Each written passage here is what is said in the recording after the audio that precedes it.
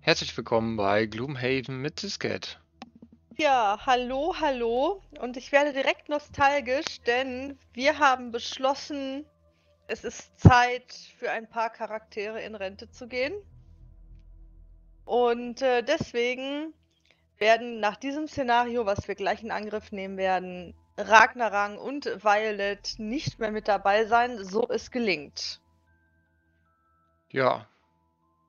Aber bevor wir das tun, geht's erstmal wie immer in die Stadtbegegnung. Ihr spaziert spät nachts den Fluss im Fundusviertel entlang, als plötzlich etwas in eurer Tasche zu vibrieren beginnt. Es fühlt sich eigenartig an und ihr holt schnell die kleine Metallkugel heraus, die ihr auf der Straße gefunden habt. Sie zuckt unkontrollierbar und zieht euren Arm dann in Richtung des Flusses. Ihr lauft ans Ufer, aber die Kugel vibriert noch immer. Sie wird von irgendetwas im Wasser angezogen. Das hatten wir doch. Das hatten wir schon. Und dann sind wir, glaube ich, hinterher oder war das aber völlig für die Katz? Ja, ich erinnere mich. Also lassen wir jetzt die Kugel los. Ja, vielleicht ist es ja diesmal da. Ich weiß es nicht. Dann lassen wir die Kugel los. Ja. Lassen wir sie einfach los.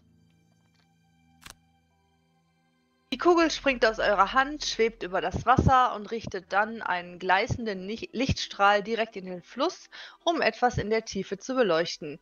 Ihr zögert und springt dann in den Fluss, um dem Licht bis auf den Grund zu folgen. Dort findet ihr eine halb unter Steinen vergrabene Holztruhe.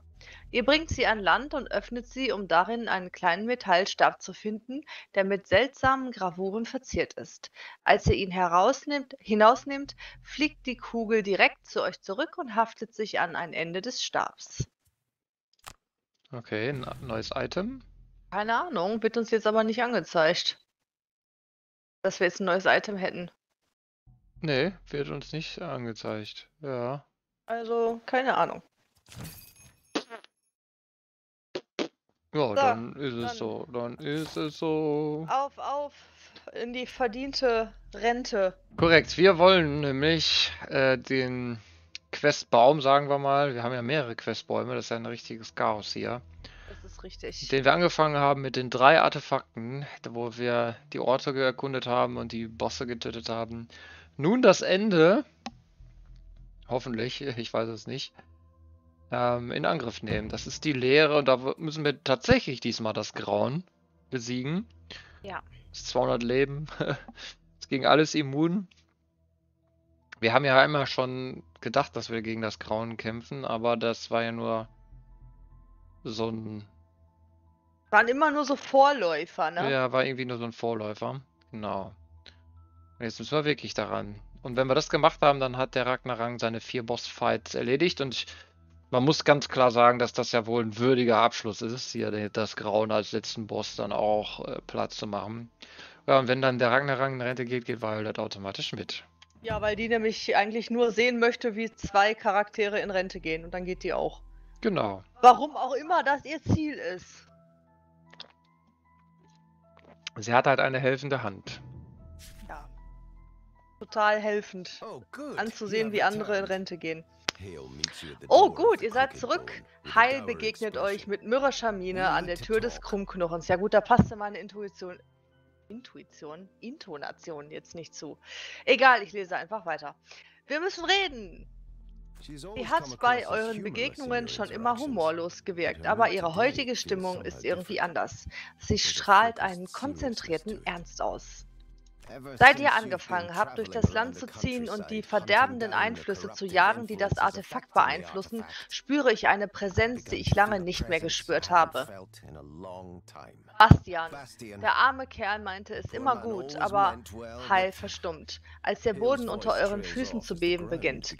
Es ist nicht katastrophal, aber das Zittern ist zutiefst beunruhigend. Das war das. Stärkste bisher. Sie kommen immer öfter vor und ich befürchte das Schlimmste. Heil zieht eine fear Handvoll grünes. Gras hervor und wirft es mit einer komplizierten Bewegung Hale in die Luft. Die Halme fallen in einem seltsamen Muster und verblassen zu einem dunklen Braun, ehe sie den Boden erreichen. Er ist in der Stadt, sagt sie mit eisiger Miene. Irgendwo tief in der Leere. Wir hatten alle gehofft. Heil wird erneut durch eine gewaltige Erdbewegung unterbrochen, stärker als zuvor und scheinbar endlos.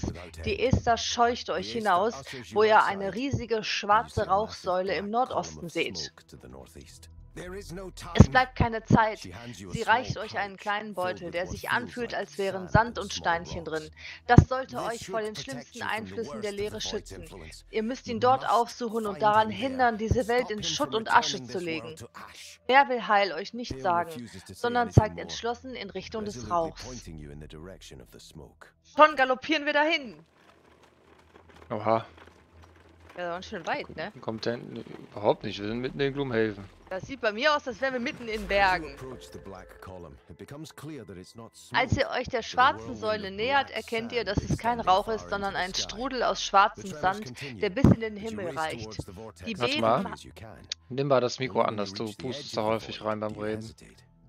das ist komisch, weil ich habe das auf Kinnhöhe. Okay. Die Beben halten an, doch ihr hastet so schnell ihr könnt zu dem Wirbelsturm. Erst als ihr am Rand der Leere ankommt, zögert ihr. Ihr seht euch die anderen Bewohner Gloomhavens an, die voller Furcht auf die schreckliche schwarze Wolke starren. Keiner wird dem allen ein Ende setzen. Es liegt an euch. Ihr umklammert den Beutel, den Heil euch gab, und setzt einen Fuß auf den schwarzen Sand. Augenblicklich spürt ihr überall im Körper einen stechenden Schmerz, als würdet ihr von innen heraus aufgefressen. Der Beutel füllt euch jedoch mit einer dumpfen Taubheit und ihr geht weiter zum Zentrum der Leere, um in den Wirbelwind zu treten. Im Auge des Strudels wurde der Sand weggeweht und ihr seht einen glatten Steinboden, in dessen Mitte eine Treppe nach unten führt. Ihr steigt die Stufe hinab. Ihr befindet euch in einem großen Raum, dessen Steinwände mit seltsamen Runen bedeckt sind. Es strahlt eine unwirkliche Kälte aus und der dumpfe Schmerz der Leere hält an. Wer tapfer genug ist, hier einzudringen, wird zuerst zerfetzt. Eine hypnotische Stimme hallt durch die Kammer. Den Rest werde ich wie wild jagen und verschlingen. Aber das hier dürfte mehr Spaß machen. Gott, das hört ja gar nicht mehr auf. Ja, es ist eine Endfight hier. Als sich eure Augen an die Dunkelheit gewöhnen, seht ihr einen Schatten in der Mitte des Raums. Mit der Zeit erkennt ihr einen Ester, der zwei lange, schmale Klingen führt. Ich habe viele Jahre auf diese Ernte gewartet, sagt er mit bösem Grinsen. Irgendwann habe ich mir gedacht, ich hätte mehr Freude daran, euch zuzusehen, wie ihr euch langsam gegenseitig tötet. Aber da sich meine Brüder einmischten und meine Schützlinge tot sind, bin ich zum ursprünglichen Plan zurückgekehrt. Bin nicht unzufrieden mit dieser Entwicklung. Selbst die Geduld eines Unsterblichen kennt ihre Grenzen. Ja dann, wir sehen uns im Dungeon. Der Ester wirbelt seine Klingen in einer, einem hypnotisierenden Tanz durch die Luft. Nun kommt, tapfere Lämmchen, wer will zuerst das Grauen erleben? Das ist der Dungeon. Ja. Alle Söldner und Söldner Beschworenen erleiden am Ende ihres Zuges zwei Schaden. Alle Söldner beginnen mit drei Flüchen. Ja, wir planen erstmal die erste Runde. Willkommen in der ersten Runde gegen das Grauen. Angriff 7, Reichweite 5. Gift, Wunde, Betäubung. Puh. Du Scheiße. Das geht ja gut los hier. Aber er bewegt sich nicht. Und das ist also gut, dass wir vorher dran sind. Ich bin nicht vorher dran, der Ragnarang auch nicht. Ja, aber der, ähm, der Heinz der, der, der Heinz kann die Betäubung tatsächlich aufheben, ne? Ja, das stimmt. Aber nur bei sich. Weil er muss ja auch nicht mehr tun, ne? Ja, Er greift ja jetzt nicht alle an. ja toll. Immer nur noch 196. ist das... Das ist bescheuert. Immer, ich könnte den, den Schaden abfangen mit einem Skelett. Ja, finde ich gut, mach. Wenigstens eine Runde lang. Da greift er nur Ich ein mir an. ein ne? bisschen Sorgen um die Termite auch, ne? Wenn wir jetzt alle am Ende eines Zuges immer zwei Schaden kassieren, ist die Termite ja mega schnell platt. Ja, die muss zwischendurch geheilt werden. So, kein Fluch, ist sowieso egal. Hier geht's um den Segen. Jeder schön Segen. Bitteschön. Bang, Ching. Und dann dürft ihr jetzt alle mehr Schaden machen. Auch das ist wunderbar.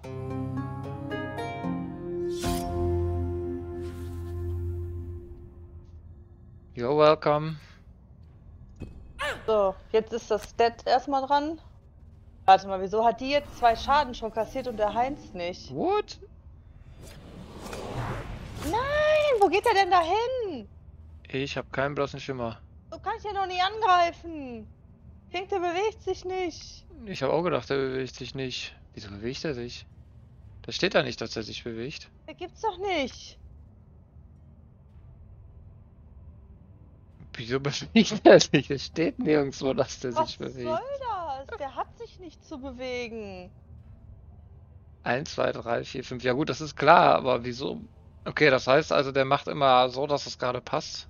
Aber jetzt Ja, kann ich nicht angreifen. Ja, ich auch nicht. Was soll denn das? Das ist ja lästig. Das ist mehr als lästig.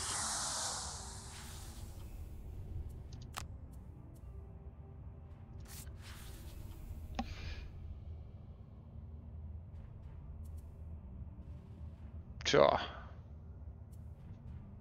Okay.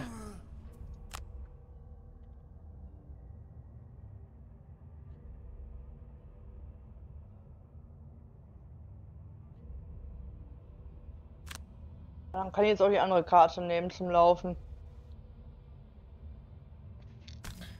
Ja. Ja, dann planen wir mal die zweite Runde. Gucken wir mal, was passiert. Okay, Angriff 7, Reichweite 3, zwei Ziele. 52.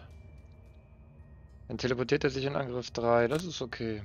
Ja, jetzt ist die Frage, bleibt der jetzt da stehen oder... Ne, der wird sich bewegen. Aber ich muss dahin einen Schaden machen. Aber macht er jetzt einen Nahkampfangriff oder macht er jetzt einen Fernkampfangriff? Ein Fernkampfangriff. Also es ist ein Fernkämpfer. Nee, die Karte macht Fernkampfangriff bei ihm. Er ist eigentlich kein Fernkampfangriff. Äh,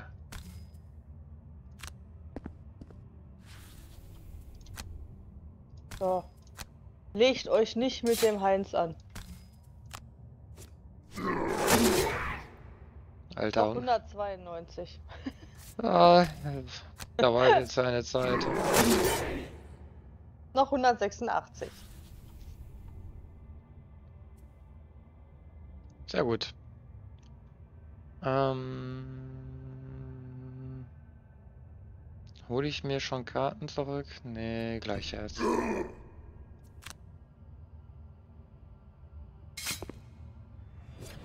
Ja, der greift nur mich an, okay.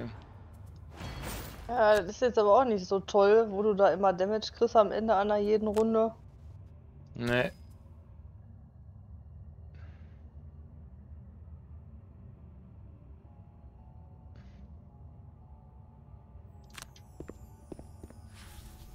Ja, da macht die Bar den gleichen Counter gegen. Oh, der war schön. Ja, Der Ich- war richtig schön. werden wir den glaube ich nochmal holen, weil Du nicht weißt, wo der wieder Ja, hingeht. wo der wieder hingeht, genau. Das sieht ja schon mal besser aus.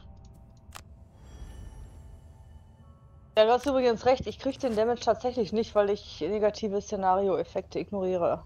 Ja, ne, das ist, ist Ja. 1, 2, 3, scheiße, ich komme nicht dran.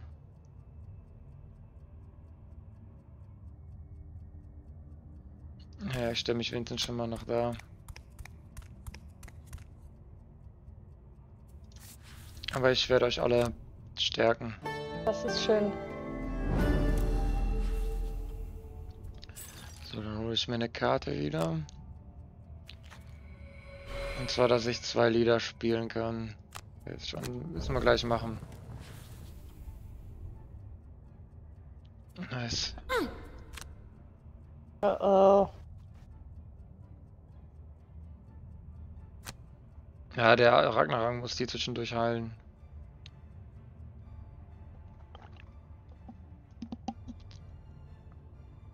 Ich komme jetzt genau nicht auf die Truhe. Was ist das? Ähm.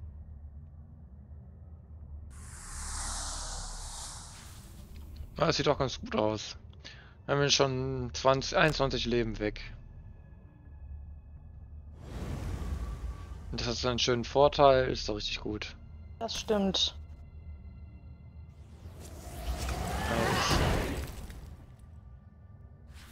Ja.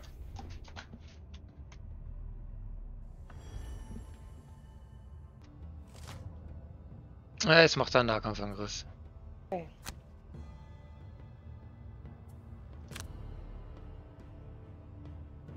Das heißt, er wird den Heinz attackieren.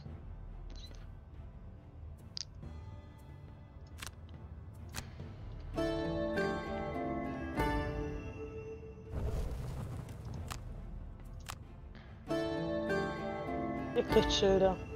Ja. Ja, ja. Jetzt hole ich mir schon eine Karte zurück. Nee, die Schilde, die brauche ich nächst, brauche ich auf jeden Fall nochmal, denke ich.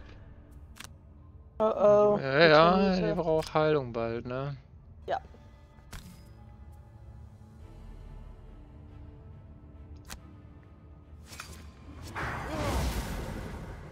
Sehr schön. Jetzt könnte ich stehen bleiben, aber ich wollte mit dem Heinz ranlaufen. Das ist dann wieder, das passt wieder alles nicht. Äh, was machst du eigentlich? Äh, ich hatte die Idee, hier einfach äh, einen vorzugehen auf die Schatztruhe und dann hierhin oder hierhin den Typen mit dem Gebirgshammer zu spawnen und den angreifen zu lassen. Ah ja.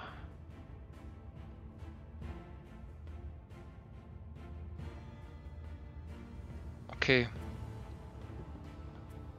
Ja, ich habe halt meine Karten, mit denen ich selber angreifen kann, aufgebraucht. Ich habe ja nur eine. Ja, der müsste jetzt aber kein Fernkampfangriff. Das heißt, wenn Ja, ich hier ich mit. Ragnar-Rang hingehe, dann kriegt der äh, Ragnar-Rang das diesmal ab. Hm,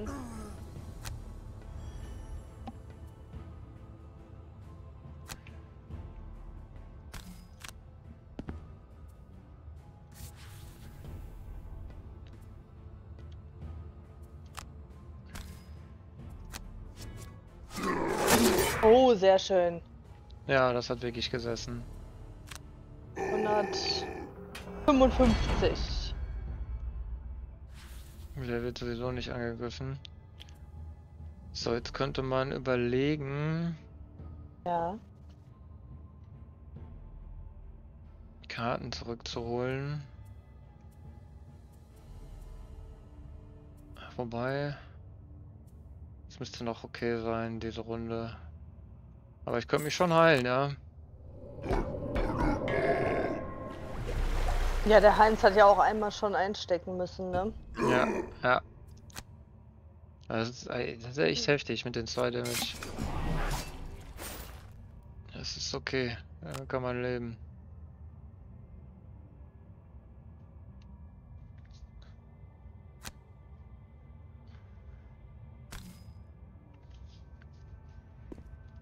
Hundertfünfundfünfzig noch, ey, alter Falter. Das ist nicht schlecht, ne? Ja. Das Gute ist, die, dieses Plus 1, ne? Damage hat schon ordentlich was gebracht. Ja. Jetzt muss die Verteidigung noch kommen.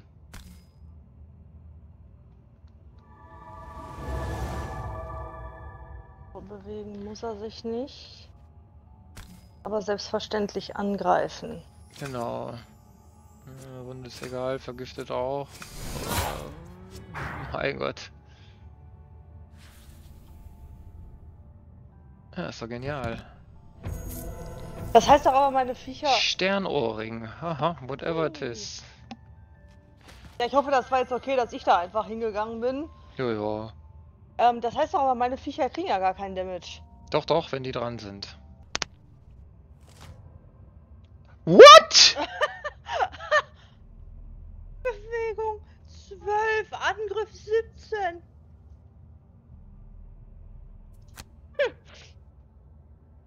Alter. Was ist denn da los? Aber der müsste jetzt eigentlich den Heinz fokussieren. Und der Heinz hat genug Leben. Hat der Moloch? Ausge Nee, leider nicht. Aber er kriegt zwei Leben wieder und er gibt sich gleich drei Schilde. Das heißt, er fängt ein bisschen was ab. Mann, Mann, Mann, ey.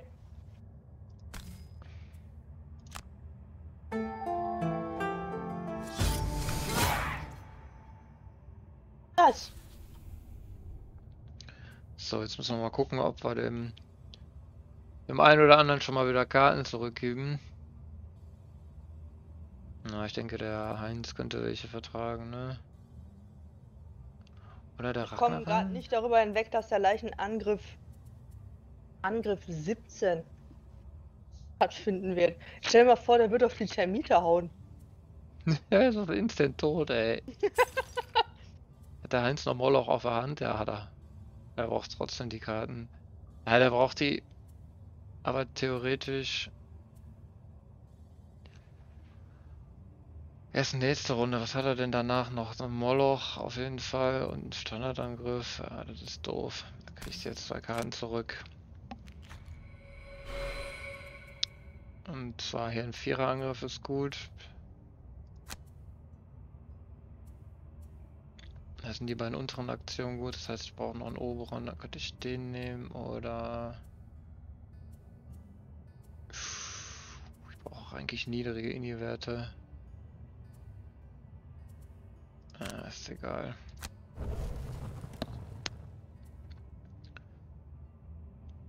Okay, okidoki. Und ich könnte jetzt nochmal die Schilde wiederholen, die waren nicht schlecht, ne? Und nochmal Stärkung, aber auf jeden Fall. Das ist sehr wichtig.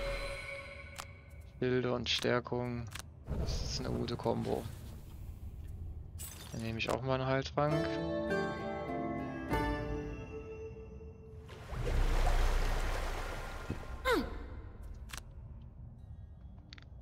So, dann teilen wir wenigstens wieder zwei. Drei Schilde. Ja, die Stärkung ist ja alleine schon für euch beide gut, weil ihr die Flüche im Deck habt. Ja.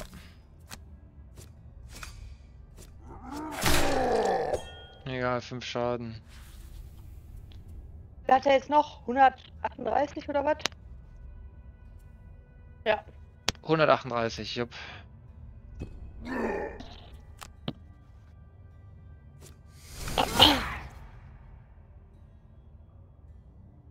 Ja, tatsächlich, der kriegt keinen Schaden. Ja, ne? Oh, krass. Ich habe doch gesagt, er müsste ja dann auch, genauso wie ich, negative Szenario-Effekte ignorieren. Wie krass ist das denn? Äh, ja. Irgendwie bist du ein bisschen abgehackt gehabt beim Reden. Ja, keine Ahnung wieso.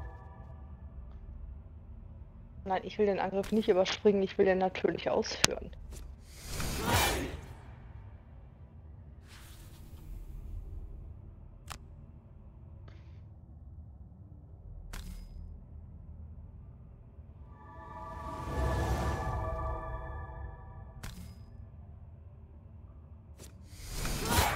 Ja, sehr gut. Ja? Das waren dann 12 Damage die Runde. 12, ja. Das ist gut.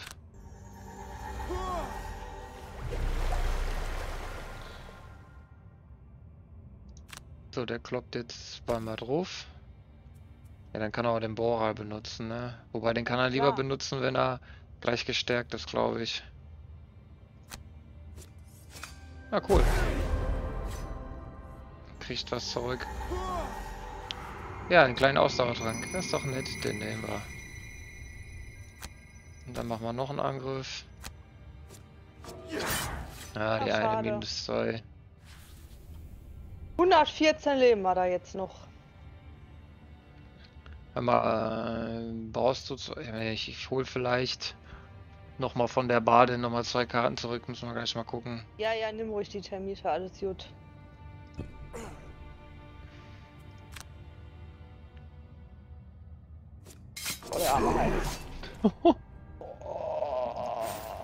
Oh, ich richte auf jeden Fall den Moloch aus, ey. Ja, bitter. Oh, jetzt hat er noch mal. Du liebe Zeit. Aber das ist gut, der Heinz hat Moloch. Das ist überhaupt kein Problem.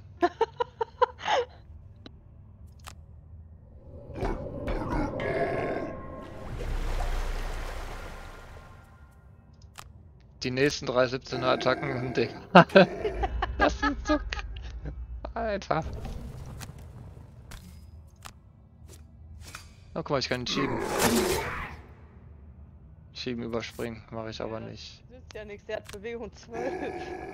Der kommt ja sofort wieder. Er kommt sofort wieder, ja. Oh, brauche ich noch mal zwei Karten. Ja, der Schildschlag ist schon nicht schlecht, ne? Äh, äh, äh, ein Angriff 5 wäre natürlich nicht verkehrt.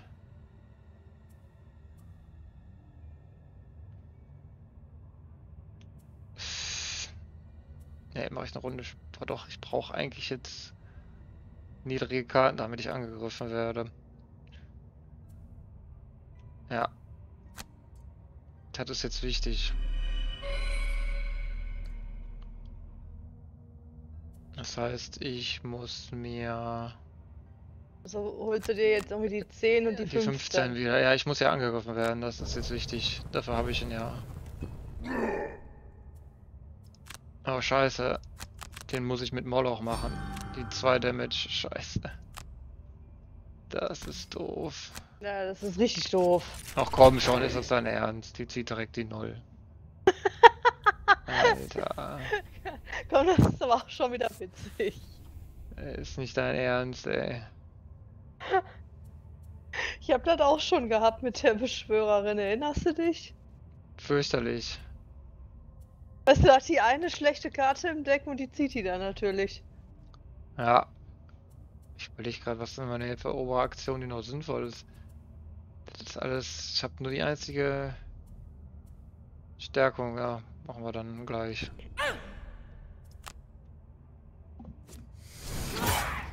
Hundertvier.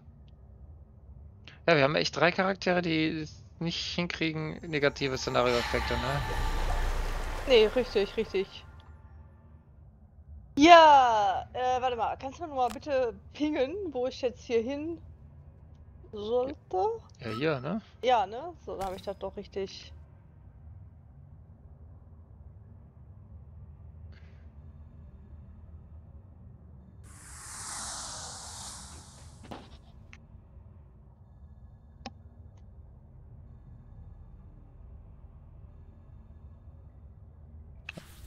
Ja, tut mir leid, ich musste gerade mal ermahnende Zeichen in Richtung Katze machen. Ja, hat er wieder Unfug gemacht.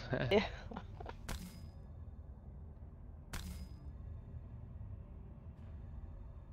Da sind sie.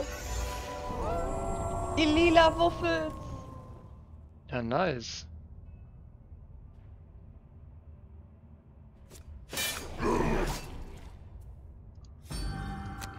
Moloch.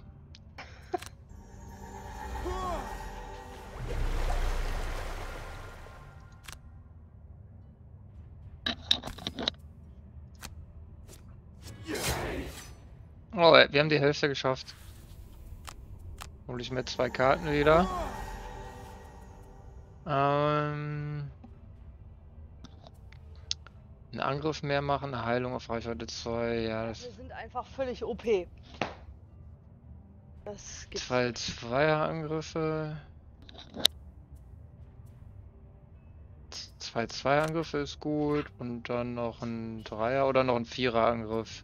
Oh ja, gestärkt. Zwei Zweier-Angriffe gestärkt und ein Vierer-Angriff gestärkt, ist glaube ich ganz gut. Ja, ja, das ist gut. Das machen wir so.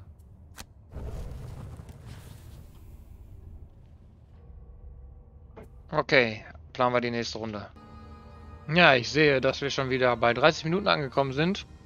Seht dann in der nächsten Folge, wie wir es mit den mit der zweiten Hälfte, den zweiten 100 Lebenspunkten des Grauens aufnehmen und ja, drückt uns die Daumen, dass wir dann auch Erfolg haben werden. Macht's gut bis dahin und ciao.